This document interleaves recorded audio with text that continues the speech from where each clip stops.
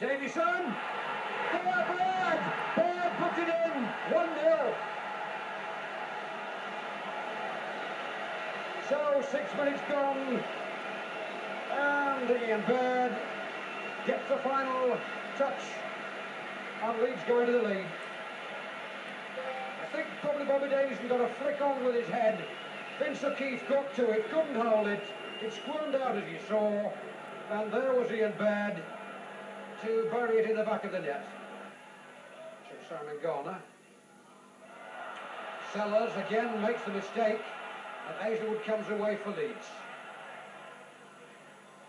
There's Mike Whitlow. Had a shot. Davison, yes! Bobby Davison gets number two. 28 minutes gone, and Bobby Davison gets it for Leeds.